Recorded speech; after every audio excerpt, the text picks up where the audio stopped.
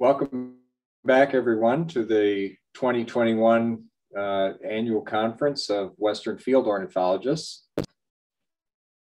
Um, it's my pleasure to introduce Ed Harper, who will be uh, moderating the photo ID panel this evening. Uh, Ed was born in Montana, where he developed his interest in birds at an early age. And anyone who spends any time with him now quickly learns of his love for Montana and its avifauna. Ed taught mathematics and field ornithology at American River College for many years. He's been active as president of Sacramento Audubon Society and as a board member with Western Field Ornithologists. I first encountered Ed when he was uh, giving presentations for the Central Valley Bird Club at our annual Central Valley Bird Symposium. And I've attended probably somewhere between 20 and 25 photo ID panels uh, given by Ed either at the Central Valley Bird Symposium or at Western Field Ornithologist meeting. So uh, to me, he occupies a position similar to that of Alex Trebek in Jeopardy. And so without further ado, I introduce the Alex Trebek of the photo ID panel, Ed Harper.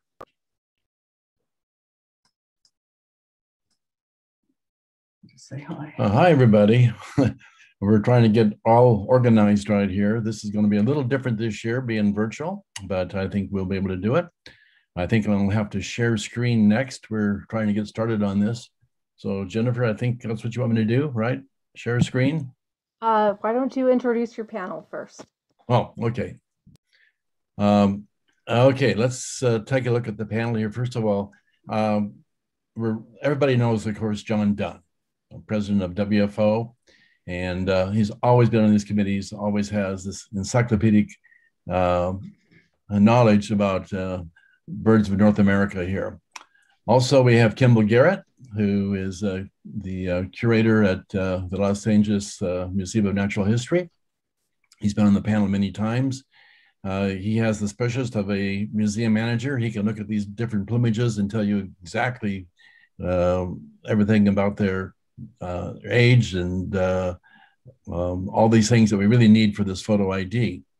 And then there's Joe Moreland. And Joe's been a famous figure in the Bay Area here. He's done classes for many years for Golden Gate Audubon and uh, for the colleges there in the uh, Bay Area. And he's been on the committee before too. And um, he gives a very exacting, concise description of these birds. And new to our committee this year um, will be Andrew Gutenberg from Bozeman, Montana, my hometown. Andrew is a an outstanding artist. You're going to see more and more of this young man as time goes on. I remember meeting Andy when he still couldn't even drive and having watched him grow up into be an excellent birder and an outstanding artist. And I'm really thrilled that he can be with us and add his artistic uh, blend to this uh, meeting here. So that's my committee, and we're ready to go. Share screen. I'll share a screen here. That one right there. Mm -hmm. Okay, and let's see if we can get this off and running here. Let's just hit F. Okay. Okay, we'll try and get this all going here. Well, there we are. I think I can get it now if I do it here. Okay. So just double check. Can everybody see it? All right. Can everybody see this uh, image right now? Yes, I can see it. But I can see. I, I, are you showing it in a presentation view or are you showing it just on on your regular screen? Regular screen right now. Yeah, I, I think it's presentation view. Because I, I can see that you've got some some words, some file names on the side. Um, if, if this is a PowerPoint, you should start the presentation. Uh, no. Oh, it's not a PowerPoint then? No. Okay, you're just showing the actual pictures from the file. And right. Mm -hmm. And it's fine. Okay. You're looking great. Okay, as long as you can see this. Mm -hmm. Now, um, those of you that went to the um, WFO meeting in Billings in uh, 2015 might have seen views like this. This is a scene from Montana. And I just, uh, I'm sorry that we're not virtual this, I mean, that we're not uh, having to do this. Uh, I'm sorry we're having to do this as virtual this year because it's so much fun to see everybody out in the field and uh, share all these good experiences. So you might even recognize some of these WFO people here. So I miss you all, and I'm uh, looking forward to next year when we can all be together again in the field. just a few caveats about uh, the program tonight. Um, I'm going to have you a lot of have a lot of birds for you to, to identify, but um, I'm going to be nice to you and say they're only going to be in the region. Uh, birds have been seen in the region that WFO covers. We're not in Florida or Georgia where this Bachman's uh, sparrow might be observed, so you can just put those aside, and we'll be concentrating on the uh, birds of the West. Um, this is not particularly a Western bird, but it occurs uh, as a vagrant. And I'm going to start my um, uh, slides with one through five. Now, one's going to be a fairly easy one so that everybody can kind of feel like they're getting something. Uh, they will learn something about each of these birds, even if they're they're fairly straightforward. So this might be a number one, this uh, female uh, black-throated blue warbler. But then I'll go through two, three, four, and finally end up with five. Now, five will be a little tougher. And so that'll give us something to discuss. So we only have about an hour to do this. So let's get started. Unless you have a question right now. So we're looking out here at this uh, scene right now, and uh, it looks like good hawk country. So we're going to start with hawks. I'm going to show you five hawks in a row. And then this is number two, number three, I'm not seeing any hawks at all. I just see a, a, a, grassy field that might have a Baird sparrow or something in the oh, background. You don't see... No, all I see is a sunset. Oh my gosh, this is not going through that way then, huh? Okay, so um, I let's um stop your screen share for a second. Okay. I'll go back to, to the beginning. Um, just uh, stop screen share. I'm gonna, or I'll I'll actually stop your your sharing. I'm gonna stop it for you. Okay. So now I want you to go back to share screen. All right. And then on that, it should give you some um, choices of what you want to share. Um, you want to share the presentation that you have prepared for tonight. Okay. Uh, let's see if I can find it on here. I can find it this way. Whoops. You might have to browse for it. Yeah, okay. I'll, Okay, I think this is going to be it. Well. Okay, you are sharing your screen now. Mm-hmm. And um, I can see that you've got the file there. It says virtual WFO bird ID. Do you try try clicking on that? Yes, it is virtual WFO bird okay. ID. All right, now let's try advancing um, your slide to the next one. Can you do that? Okay, let's see. There All you right. go. Okay, um, can everyone see the picture of all the birders birding? Yes. Yes, okay. that shows up now. All right. Looks like it's working. Okay, there we are now. All right. Thank you, Jennifer. So here I was rattling away about all these things, talking about a Bachman sparrow that uh, we won't be having in this discussion, talking about uh, going through uh, birds one through five, one being a fairly straightforward forward one like this uh, uh, female black-throated blue, to a more difficult black-throated blue warbler. And now we're ready to start our program here with uh, raptors here. I'm going to go with the series like, oh, maybe it'll be sparrows, maybe it'll be uh, raptors, maybe warblers, sometimes just a potpourri, but here we go. And I'll show you one through five. Here we are. Number one. Everybody see that? Two, three, oh. four, no, Don't Kimbo, you haven't seen it? I finally see number one. Wow. I'm seeing them, so I might be right now. I know internet connection issue. Yeah, it sounds I, like I, am seeing everything. I don't. I don't see Andrew even here. Joe, are you seeing everything? Yeah, I see everything. Okay. And this is number five. I don't know what anything is, but I see them. okay. So we're going to back down. We'll start with number one. If everybody can get back to number one, here we are. Yeah, I thought this might be a Swainson's hawk.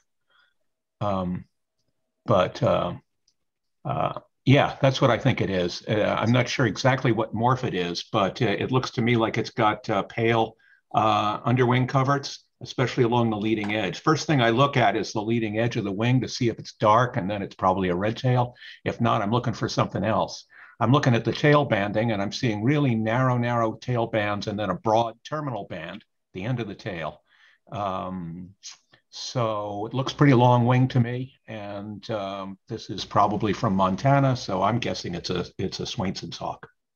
And you are correct, Joe. This was taken April 3rd in Solano County, California. Number two. Who wants to jump on this one? Well, I think it's a dark morph bird, and this one could be a red tail. It seems to have some red in the tail, but uh, other than that, I give up on these dark morph birds.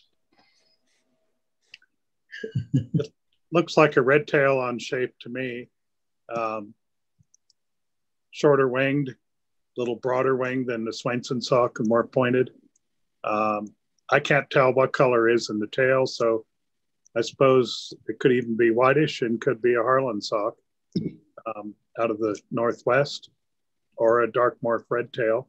Um, looks like an adult, that broad, dark trailing edge, and not as pointy in the wing. Looks kind of big build like a red tail. Yeah, I was going to mention that between the the curved trailing edge of the wing and the uh, size of the bill. Um, those are like two things that stand out pretty immediately of uh, just structural cues that are different from the Swainsons in the last photo that are kind of superficially similar. Well, you're all right. I I thought this to be a dark morph um, red-tailed hawk photographed it on March 15th in Modoc County near Alturas, California. Number three. Well, I can take a stab at this one. Um, I'm seeing a very long tail and short rounded wings that uh, make this one an accipiter. Um, it does kind of look capped, which would, if you just focus on that, I think would might it might lead you towards uh, a Cooper's hawk. But I think that the wings are a little too short and curved forward, and the uh, the tail seems to be um, fairly uniform length and uh, each feather, and that that makes me think it's probably a sharp shin. I'm holding up a magnifying glass to this thing, and I think it's an adult. It looks like it has um, barring, you know, sort of smudgy barring across the entire underparts instead of streaks. Um, so I agree it's an accipiter. and I guess I agree it's a it's a probably a sharp shin hawk. One of the things to look for is if you draw a line across the leading edge of the wings, does the head project out beyond that line? And it doesn't, it seems to be tucked in. Next thing I look for is the, the tail formula. The um, outermost tail feather, uh, what is that, R6, uh, is about the same length as the next adjacent tail feather. So that's a square corner tail. Um, so that's better for sharp-shinned hawk than it is for um, for a Cooper's hawk. So that's what I think. Good points, guys. Didn't you? Yeah, I would just. Yes. I would just add the caution that beware of the apparent difference of tail shape when the tail spread like that, mm-hmm. versus if you were to see the per- bird perch with the tail not spread. So what Joe suggests is, is very helpful to look at the relative lengths rather than just the general impression is that rounded or or not. Right. Because that definitely is rounded. it's a curve when it's fanned out like that but relatively they're they're yeah, they would be square if it was folded. If it wasn't curved, it would have to be notched. You know, I mean, mm-hmm. the tail feathers are all the same length, so it's definitely going to end up looking rounded when you're done, when as it's as it's fanned. I would have left this mm-hmm. bird unidentified if I was in the field. The head projection looks kind of intermediate to me, not sort of pushed into the body, but not really long enough for a Cooper's. So hopefully, while I was struggling with the ID, I'm looking at the picture and the outer rectrix has a different, the, the band is thinner.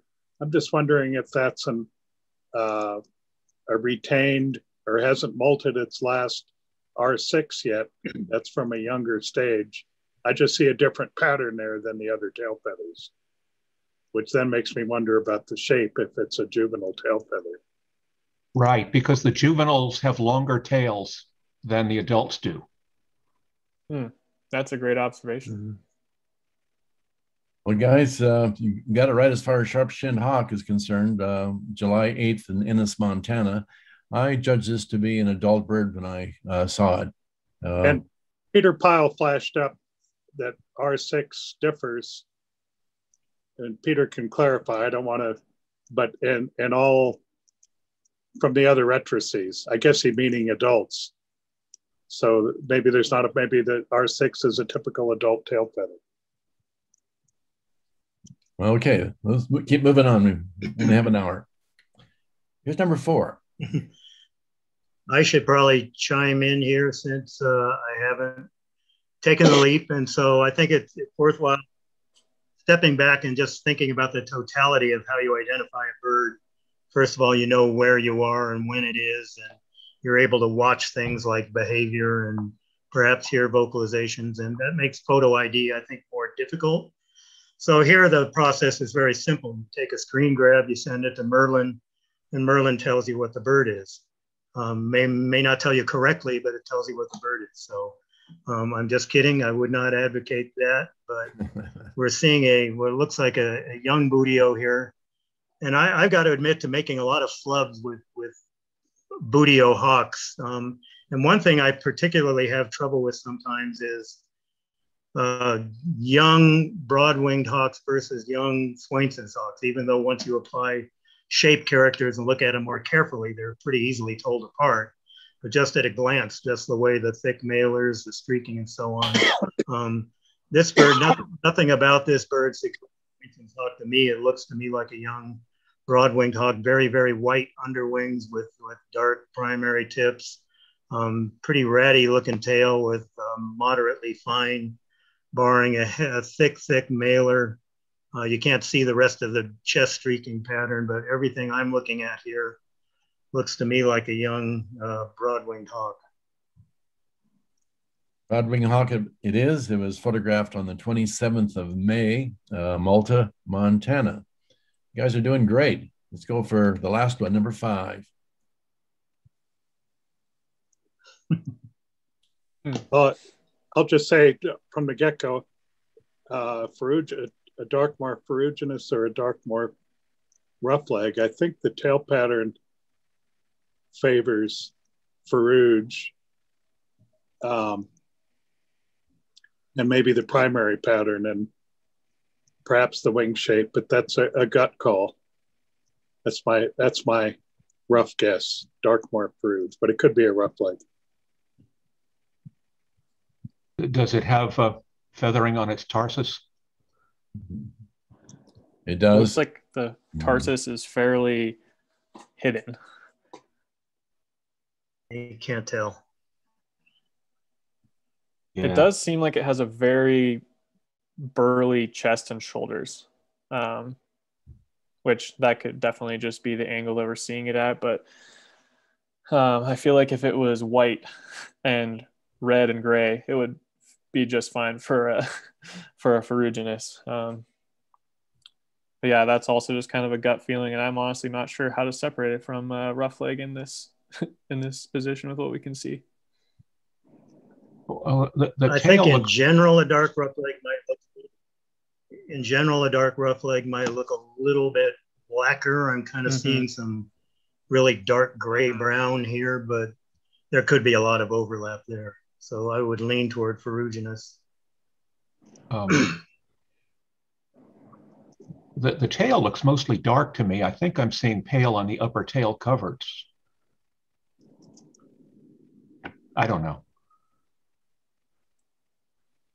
Well, admittedly, this is a tough one. This is why it's a number five. Uh, of course, in real life, you usually see the head sometime, things like that. You know the date, you know where you are. We're in Modoc County. It's on the 15th of March. That might help us a little bit. Um, so northeastern California. And um, it's got a, I, I was just thinking that it doesn't really show very much white out here, like you would expect on a Ferruge. The tail looked like pretty dark there. I, uh, it was a, a rough-legged hawk that we uh, photographed there on the 15th of March, rough-legged hawk. But raptors are tough. They're one of the toughest. That's why we like to go through them with this uh, group. Well, let's take a different group of birds this time and uh, get out our binoculars and maybe go looking at warblers. Here's number one. Here's number two. I hope you're all keeping up with this on your own computers. Sometimes there's a lag. Number three. Lag. leg. I'm sorry. Here's number four. There's too much of a lag, we may just dispense doing the uh, initial look. Everybody on number five yet? Yeah. Okay. So let's go back to uh, number one. That should uh, be a nice one for us, for us to start with here. Well, it's a, a, bright yellow bird with a gray head and what appears to be a complete eye ring. At least it's connected around the back. So th- that suggested to me that it was a, a Nashville warbler. Uh, there's always the possibility of Connecticut warbler, which would be, I think, a plumper bird with bright pink feet. Um, so I'm going to stick with Nashville warbler based on that. Yeah, the yellow is a bit too extensive for Virginia's, and the back is too greenish. Yeah. Nashville. Okay, that was number one. I think most people would get that. I always like the white between the legs on them as well. Number where, two. Where was it taken, Ed? Oh, I'm sorry. Um, this Nashville warbler was photographed in Tehama County up by uh, Red Bluff on the 29th of April. So Calaveras warbler, which is pretty distinct from the nominate and failed by one vote to be split. Hmm. So don't don't just push them out of mind. A change of one vote, everyone would be talking about Calaveras warbler and how to tell oh, wow. it. Is, is there a difference in the amount of white in the undertail and the uh, between the legs between those two? Not that I know of. The the rump's a little brighter on um, Ridgway. On Calaveras. yeah, and the tail's longer. Other marks include song and chip note, which are obviously useless here. Yeah, they're really and they tail tail bob. So if there was a uh, footage of it, that would help. See how it acts. So Calaveras tail bobs and and like Nash- Virginia and chips like a Virginia's. Yeah. And genetically might be closer to Virginia's. Interesting. Very interesting. Hmm. Thanks. Hmm. Number two. Well, I'll just um, oh, go ahead, John. So I'm just going to say that any warbler with bright yellow feet, uh, several warblers have it, but in a combination with the very streaked back and the uh, bold wing bars. Um, and you can look and see it has very long undertail cover. It's very long primary projection, a very short tail, indicative of a long distance migrant.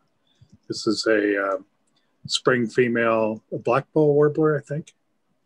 They vary in color. Some are, aren't as greenish as that above.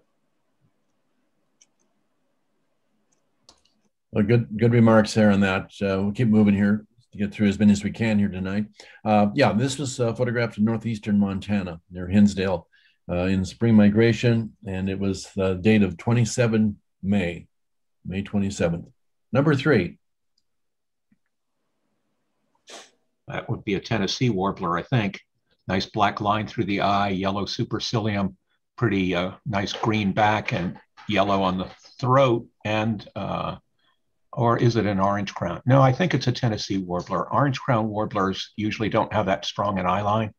And uh, if I look carefully, the undertail coverts that are just sort of hidden there behind the branch are white. There's a little bit of yellow across the vent area, uh, but that's fine for Tennessee warbler. Um, I don't think it's got wing bars, but I can't really tell that. I'm assuming it doesn't. It has a very fine, thin bill, which is uh, suggestive also of that group of warblers. That's what I think, anyway. I'll just add. Notice also the tail is very short. You can see the undertail coverts basically reaching almost the notch at the tip of the tail, which is a good mark. Certainly against orange crown warbler, which has a lot of long dark tail beyond the undertail coverts. Number, I see a question in the chat. Number two was a blackpoll warbler. So we're back to here. And in many ways, this is probably more similar to a potential vagrant Phylloscopus warbler from the old world in general plumage than to any other New World warbler. But uh, this is a perfectly fine Tennessee warbler.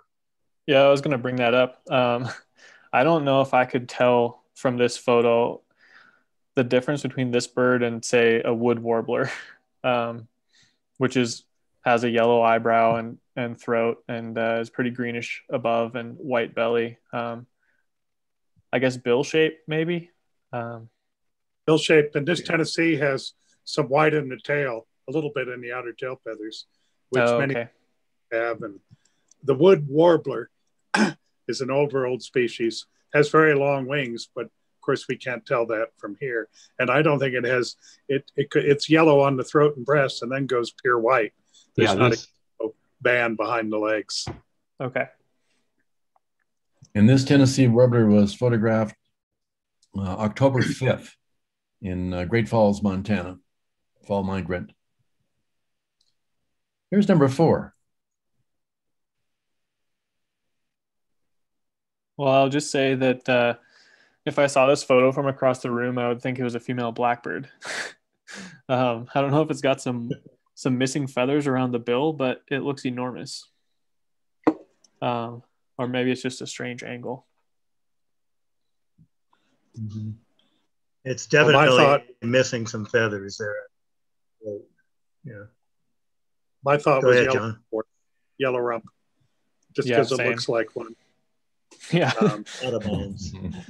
one thing I learned, this is clearly a, an immature. Um, I wouldn't, I guess an Audubon's, I can't see much of a supercilium.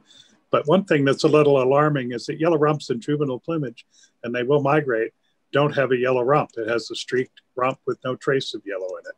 But the wings, the tertials are covering up the rump, so you can't really tell. but anyway, I think it's an Audubon's yellow rump warbler.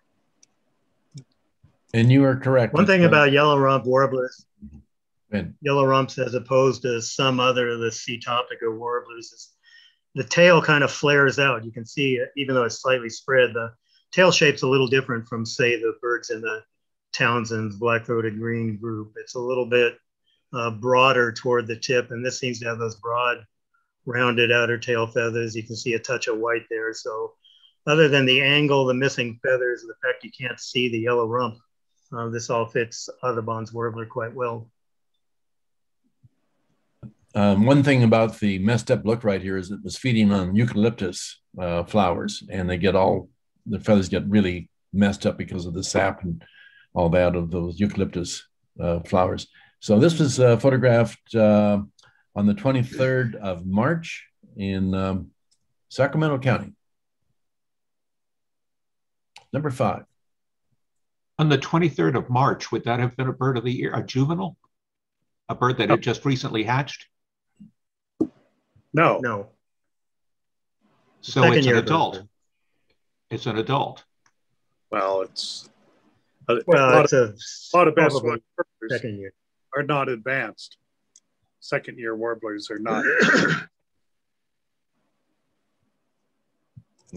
It was just a, a, a weird looking warbler, as I thought, well, it'd be a good one for a quiz. Here we are, number fi- five.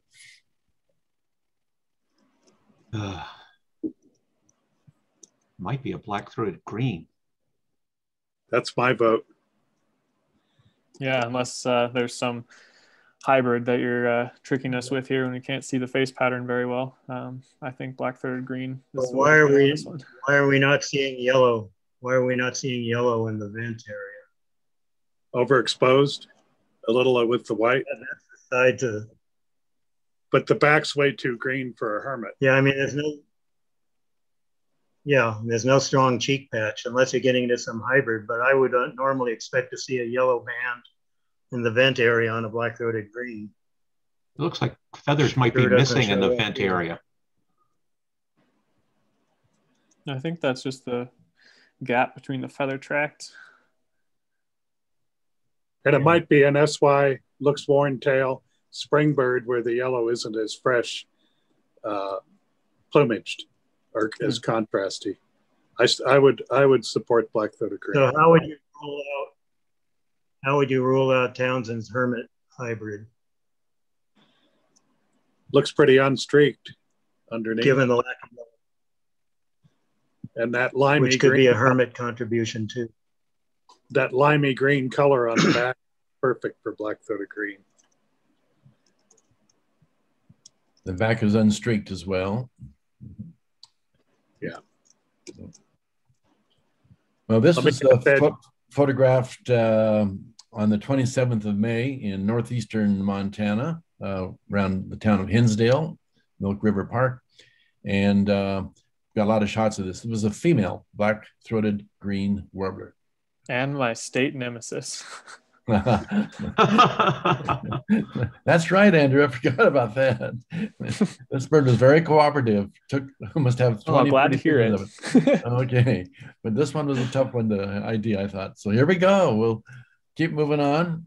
So you can see my love affair I have with Montana, and that gets us ready for sparrows, I guess. So little brown birds. Here's number one.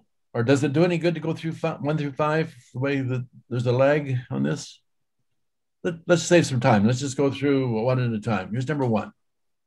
It's supposed to be the easy one. Along- five. a long-tailed sparrow with a small bill.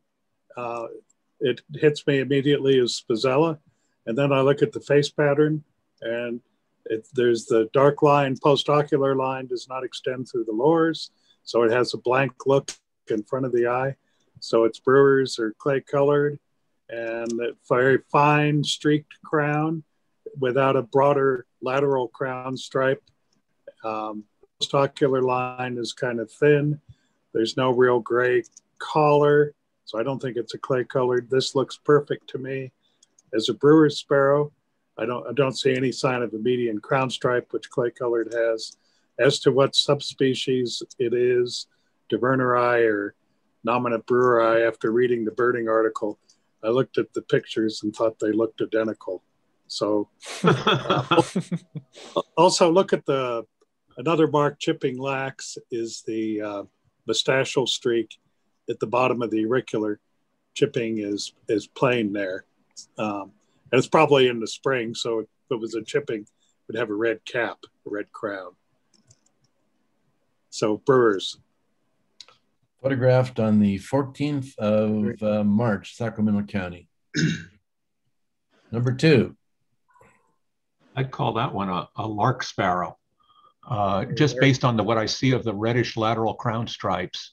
I don't know, the crown is the supercilium's kind of buffy. There's some black through the eye, but um, I think I see some white in the outer tail feathers. I see no streaking, no obvious streaking on the under uh, parts, and uh, bold white wing bar. Um, but the the head pattern is always the first thing that knocks you out on a on a lark sparrow, and unless I'm totally misjudging what I'm seeing here, that's that's my first guess. Yeah, I agree. I think lark sparrow. That touch um, of white. Sorry, Kimball. Um, as an No, artist, I'm sorry, I- I was just going to say that touch of white at the base. Go ahead. Okay. Mhm. Um, as an artist, the first thing that I put down on an illustration is the base color. And I think a lark sparrow has a pretty distinctive kind of creamy clay gray tan uh, that's very smooth um, um, and uniform across most of the bird and uh, except the belly and, and face. And I'm seeing that here. I think it's a just, I, I guess it's just more of an impression than a field mark, but um, it looks like the color of a lark sparrow to me. Kimball, did you want to talk about the white at the base of the primaries? Yeah, I, I was just going to mention that touch of white at the base of the primaries is something lark sparrows show, and most other sparrows don't. I don't know if it's diagnostic, but it certainly suggests lark sparrow to me. Well, lark sparrow it is, uh, photographed June 24th in uh, Rosebud County, uh, Montana. Here we go with uh, number four, I believe. or number three, I think. More than a touch of white in I'll I'll start on this one. Just uh, I'm seeing a bird that essentially looks like it has a white tail. So either something weird's going on, or it's the one sparrow genus that has extensive white in the tail, which is of course the genus Junco. Um, I'm trying to think exactly where you are here, so what subspecies we're going to be dealing with, but um, unless I'm, uh, it looks a little odd in many respects, but what I'm seeing suggests to me a juvenile Junco, still heavily streaked below. Um, not sure about the touch of white on the wing coverts here. bill's a bit pinkish, head's quite gray. Um, depending on where we are, it could be one of many subspecies, or I could be way off and it could be a leucistic something else with a lot of white in the tail. Juvenile junco. Any other? They all look pretty juvenile plumage. Yeah, one time somebody called up to report a Vesper sparrow and a flock of juncos um, in Berkeley, where Vesper sparrows don't occur. And Vesper sparrows do have uh, white on the underside of the tail. They're, they're pretty much completely white also. The eye ring might also suggest a possibility of a Vesper sparrow, but the color is way off and the amount of the, the distribution of streaks on the underparts. I think it's a juvenile junco. Uh, I, I'd like to say it was a white winged, but I sure don't know that. It also well, has a pretty were... long, shallow bill too, as compared to a Vesper sparrow. Good point. And we were in the Sierra. We're up near Wrights Lake, El Dorado County, not far from Tahoe. And this was on the first day of September. This uh, young uh, dark-eyed junco. Thurber And here's another one for us here, number four of the series.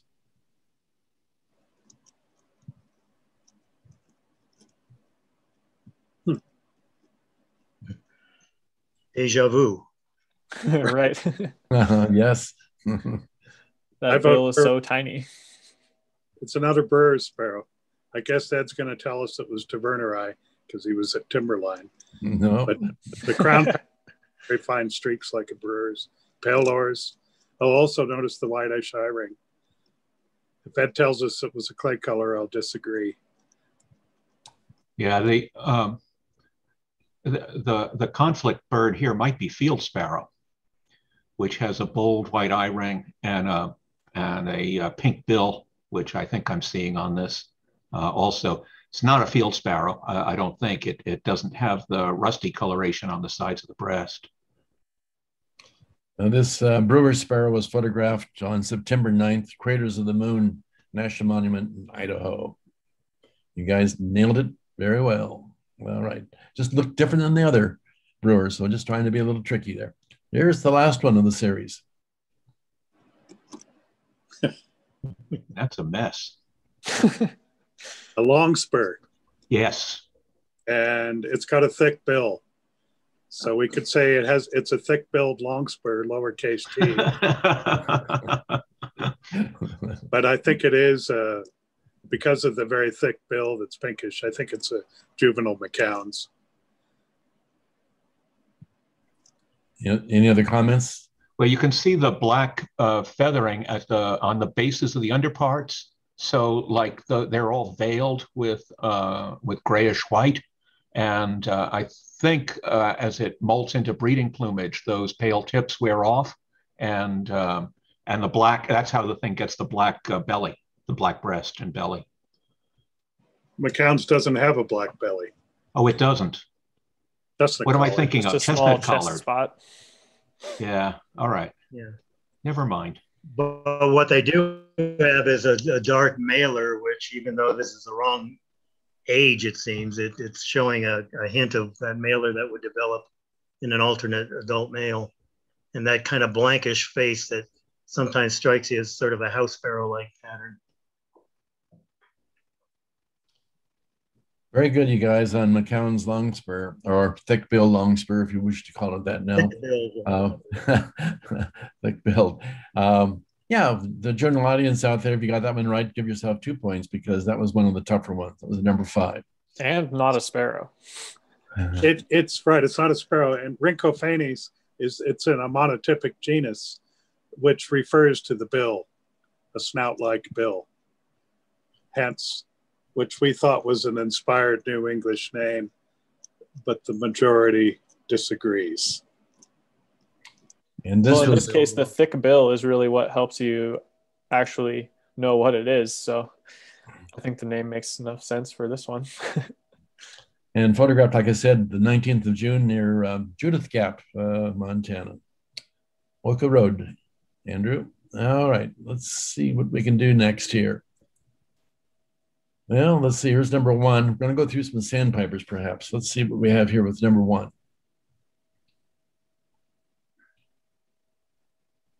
Hmm. Oh, stopping here. I see long primary projection.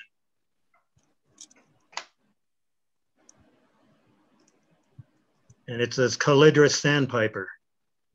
So that kind of gets us down if we're not dealing with a couple weird vagrants to pretty much Baird's and white rump. My, my gut feeling when it flashed up was Baird's, but why does it look so white?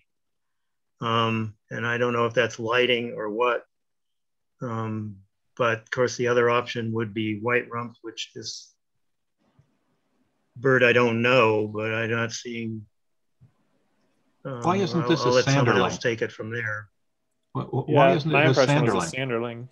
So do I. That's my vote. Can't tell whether Okay, it's good. behind toe, but the, the pattern on the That scapula. explains why. That explains why it looks so white. Thank you. You can I guess I never noticed the long primary. colder. look under the the um, median coverts. You can see sort of some blackish there, like a sanderling. and and the way the scapulars are with the dark sort of pinching off the tip so that you get these twin areas of pale on either side of the scapulars is sanderling like i mean i looked at the head and thought well the head looks kind of semi-palmated sandpiper like but the primary projection is of course too long um, and uh, maybe it Well, I does live like in the desert. I don't see. yeah, good good point. Now I know why it looks so white. And So it's I- I- probably in the surf there too. And, and I'm just to make sure that everybody's clear. Uh, this is a juvenile, right? yes Right.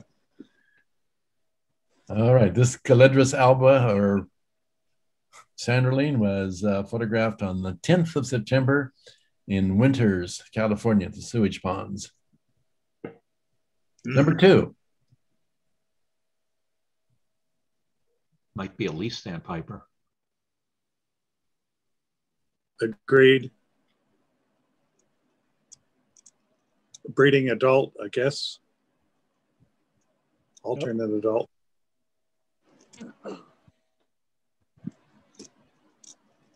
Overall, Um, very speckly brown, very warm colored, short wings, and then the bill with that really strong droop at the tip where it thins out really finely. Right. Slightly curved. Another caution is that people, it's very hard to judge size on a lone bird. So I've seen people see a bird like this with the kind of droopy bill, streaks across the chest, not factoring in wing, wing shape and thinking pectoral sandpiper on a bird like Right. this. Obviously, they're very different in size, but that can be very hard to judge sometimes on a lone bird. But I certainly agree this is a least sandpiper, unless you tell me it's a sanderling. well, we covered up the legs in this one, so John wouldn't have to remark about leg color not being a useful mark. and John, you're always good at the uh, date. What, what what month do you think this is? April. April 17th, right on, John. Yolo Basin, California. Okay. Number number three coming up.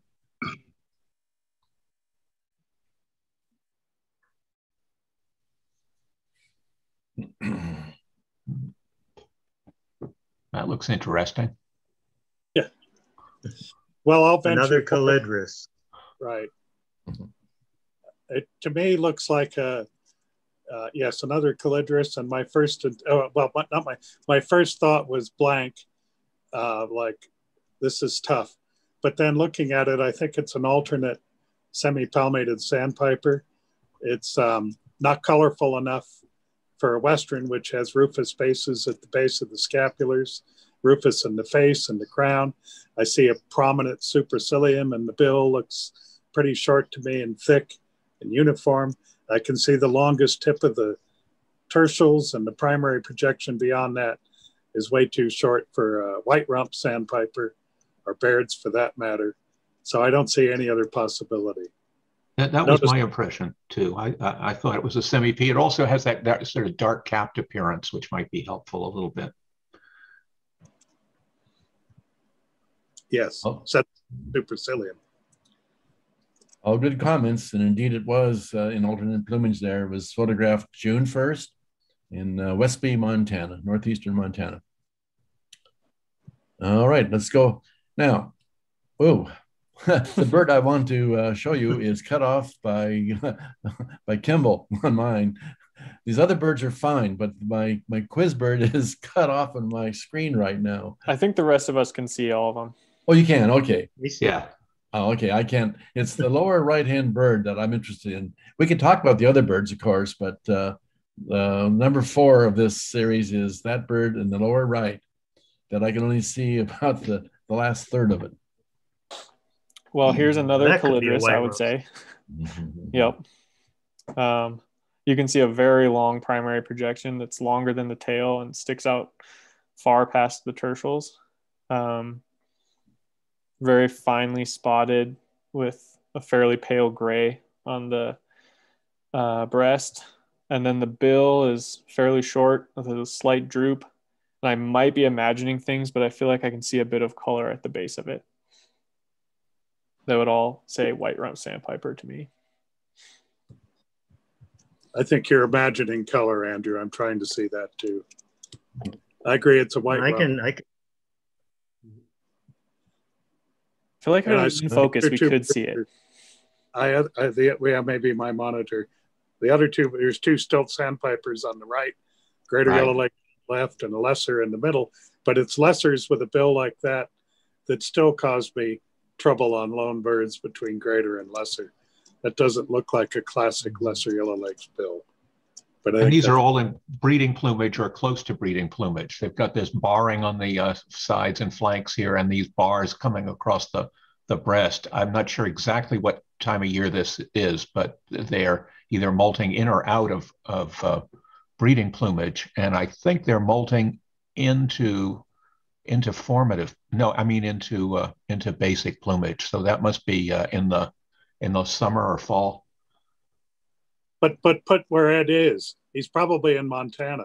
White Right. rump sandpiper is pretty regular in the spring and almost unknown in the fall, where it would be a little more worn and dark.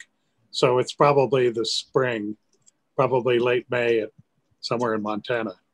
Well, actually, I'm at High Island right now in Texas.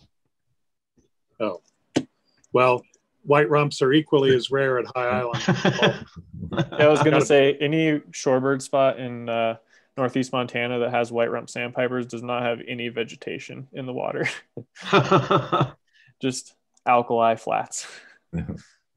Okay, this was uh, at High Island, uh, Texas on the 27th of April. And uh, you nailed it very nicely, Andrew, with a nice discussion of that white rump sandpiper. Well, let's go to number five then. there we go. It's a breeding plumage dowitcher, I think. Uh, not sure which one. Look at the scapulars.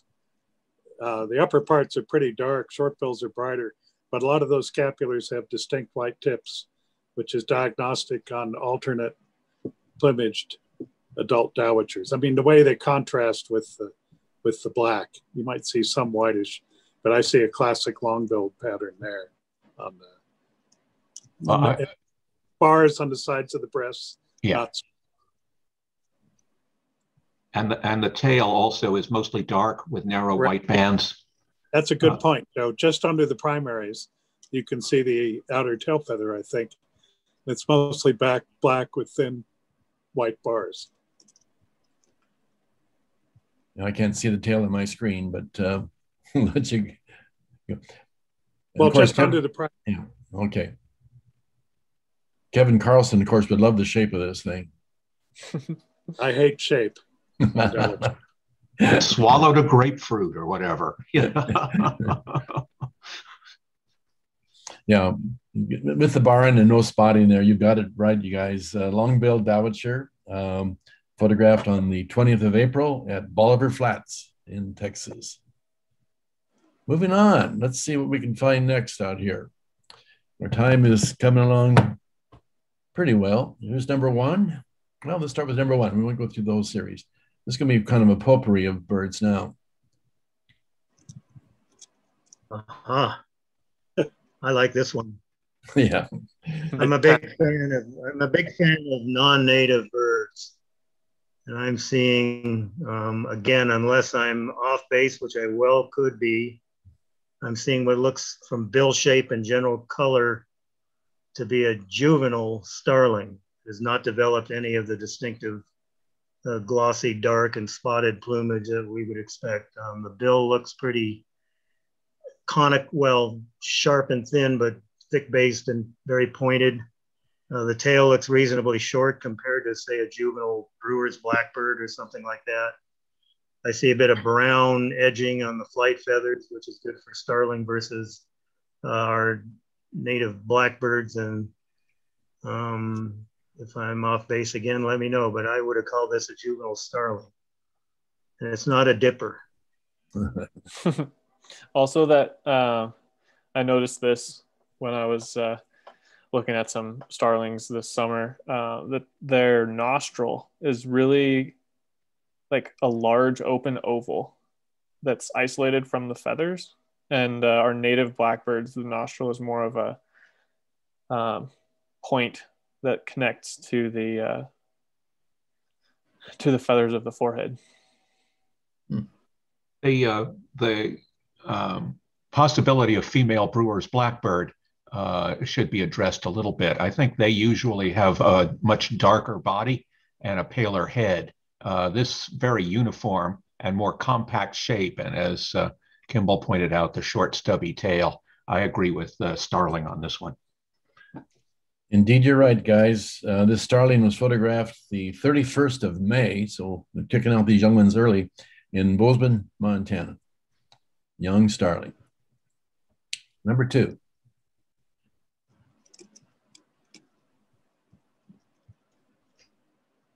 Might be an Anna's hummingbird. Agreed. It's a female hummingbird. I hate these things because, uh, uh, but um, one thing I'm looking at is the width of all of these primary feathers here, or are they, I don't know if they're the primaries or secondaries, but I think they're primaries. And they're all the same width. And on things like black chinned and ruby throats, the inner primaries are much, much narrower, I think. Um, I was trying to remember something about the alula on Anna's hummingbird. I think it's unusually large. Anyway, it's the, the, the uh, oh, sorry, go ahead. go ahead. Oh, it's the uh, the secondary coverts are very small Right. compared to all Very other North. American hummingbirds, so it makes the alula look larger. The secondary coverts. No, So well, the- look at That where the stack of secondaries are. iridescent The that secondaries are. stack of iridescent green feathers. You see that pet loose group shut of up. feathers? Those are the secondaries on a hummingbird. No, no. Yeah, primary. The arrow right now is pointing to the secondary coverts. Those are the secondaries there. Yes. Right. And that stack of feathers above it are the secondary coverts, which are Sure. much shorter in relation to the secondaries in Anna's hummingbird than, as Andrew said, any of our other hummingbirds, including the congeneric Costas hummingbird. Oh, cool. In the others, they're about 40%. You can see the Jonathan primary. Alderfer pointed this out. Right. The two white tip primary coverts, just see where they are. Below and to the left of the secondaries.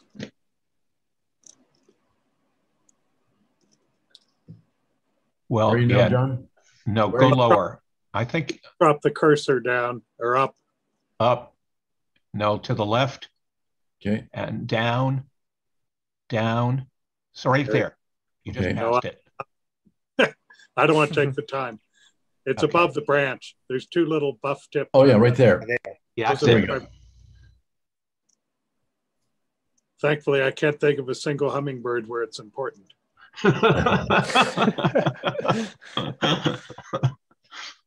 Okay, this uh, Anna's um, hummingbird was photographed on the um, 15th of April in Alameda County. I was birding with a good friend who was a very good birder. He called it a black chin, and I says, "No, I think it's an Anna's." And I'm glad you guys agree. It's an Anna's hummingbird. Okay, Black chinned is red. There we go. Well, I see a female passerina bunting with wing bars. Uh, maybe there's a hint of blue in the tail and upper tail coverts. Um, I can see a bit of peachy buff across the breast and down the sides. that combined with the wing bars, and more importantly, no blurry streaks, tell me it's a lazuli and not a female or a supplemental type indigo bunting. Indigos, the supplemental plumages, females always show blurred streaks below, including in winter. Female, female or supplemental lazuli bunting. I agree. All right, guys, we're moving along, doing a good job. This uh, lazuli bunting was photographed on uh, June 4th in uh, Billings, Montana. Here's number four. Jeez. All right, now this one's fun. I feel like these white wing patches and rump are telling me a woodpecker. Yeah. Yeah, like an acorn woodpecker. Mm-hmm. You guys are good. I had no, I had no idea. I started off at Raptor and got immediately lost. Somebody else. No, I, I was. Well, thinking, when you think about it, the, I was thinking acorn. I was just going to say it, Go ahead. or or what, Joe? Uh, I was going to say were redheaded, thinking acorn or what? Redheaded, but that's way off because redheaded has the whole secondary is white, so that that was clearly out of the picture. Right, and you think about other woodpeckers with big white wing patches, like white-headed doesn't have a white rump. Just by elimination, it among North American woodpeckers, it's an acorn. So of course, the better question is, how would you know it's a woodpecker? And that's just gut feeling from pattern. I think you can kind of see the tips of the tail right in there, those little projections of the uh, acorn woodpecker. So that acorn woodpecker was photographed uh, on uh, May 2nd in Sacramento. All right, here's one that uh, may give us pause. Let's try number five. It might be a Expect Kendall to get this right. I thought it might be a, a American pipit. That's I fine. agree. It's in breeding plumage. There, uh, the Europeans call this the buff belly pipit, and it's all like all buffy on the underparts uh, in the breeding season. We often don't see them like that until they start molting in the spring. Uh, but uh, that was the only thing that came to my mind. Um, I'm just going to add that I don't see It much is. in the way of streaks underneath, maybe across the breast. So I'm, and it's such so intensely, intensely buff. I'm wondering if it could be um, in Montana, an Alticola on its way to its breeding grounds there. So I'm more, I agree, American pipit. Now I'm focused on the subspecies. Alticola is supposed to have a longer hind claw. I can see a hind claw, but I've never tried to interpret what the difference is. Over in Sacramento, for one thing, You Can't see the hind claws on this bird. On the right, on its left leg. No, that's that's one of the forward faces. I don't think you can see the hind toe on either foot, which is why you don't see a super long claw. Really, looks looks like on its left foot that there's uh, the toe goes out, has a long claw, uh, which all pipits have. Never mind. If it's Sacramento, it's not Alticola, so it should be angle. Yep. It was the 27th of March, Sacramento, Rancho Cordova, actually. So it still has some basic streaks. All right. Well, you guys did well on this one. How's our time coming along here? We're Not, we're just about out of time here. Do you want to run through real quick here? I saw a note from Jen that we could go over. Do I have that wrong, Jen? Maybe just a tad, but uh, we are very close to 8 o'clock p.m., which is the ending time. Got it. The end of time. It's, it's hot weather out here right now, so let's cool down with the quick uh, some winter winter happenings here. Shall we just give what we think? Yeah. Andrew, I'm going uh, Vesper Sparrow on that. agreed. That's Okay, that's that's it exactly. Uh, 27th, uh, no, 21st of um, of May, Vesper Sparrow and uh, Monida, Calif- uh, Monida, I like the way that the, the white area wraps around the underside of the cheek. That's all. Never mind. Okay, Yeah. very good. Next one, Savannah. Okay, Right. Savannah sparrow. all right. Good. Nice yellow lores on that one. Accipiter and an adult. Uh, I don't know. One of those Pretty two. short-tailed, short-tailed and dark-hooded. I would call this a sharp shin.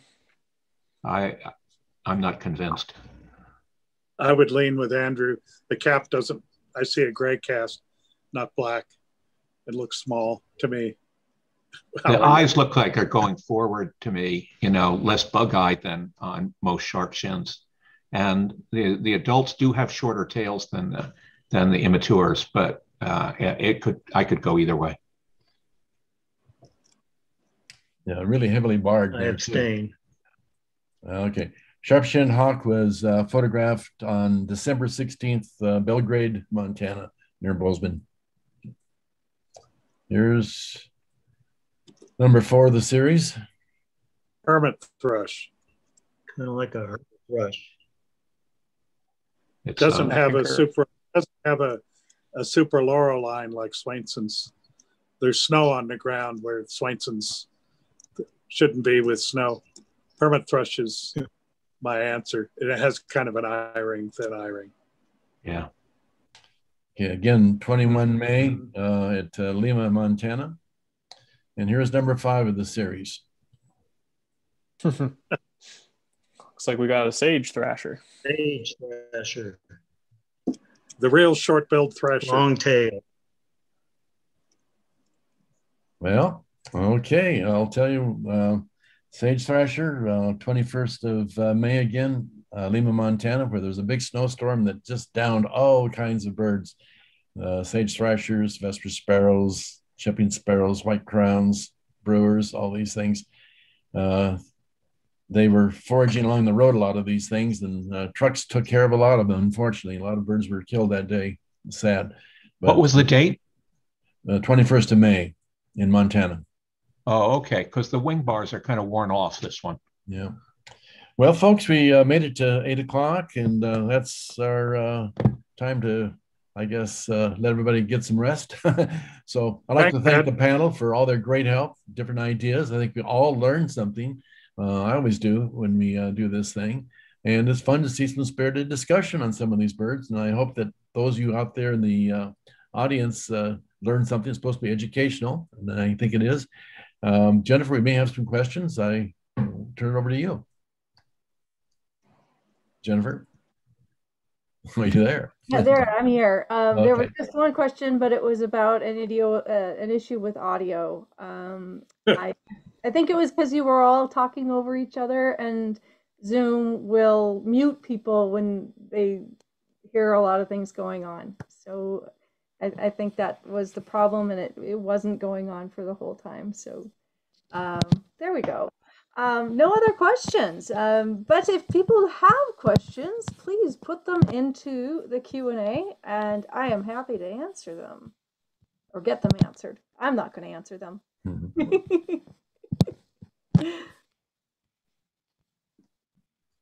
Okay. I yeah, I think we're I think we're good. Um, we'll we'll bring John Harris back in, and um, thank you all so much.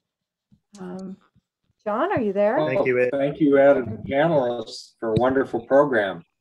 Um, we'll be, uh, see you all tomorrow morning, bright and early at 11 o'clock, hopefully. Our opening presentation tomorrow will be given by Jon Dunn and Alex Cho, um, speaking on the Tule Goose. So good night, everybody. Good night. Good night. Good night, everyone.